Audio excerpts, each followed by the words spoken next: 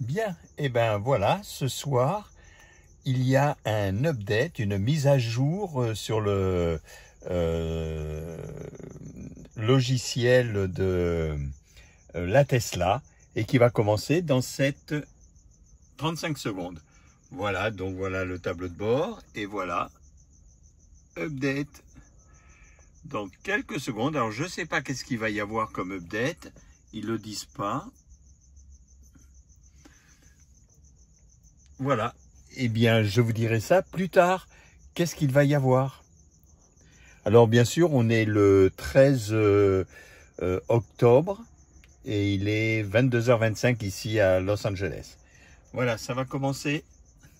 3, 2, 1, c'est parti. Et voilà, il commence son update.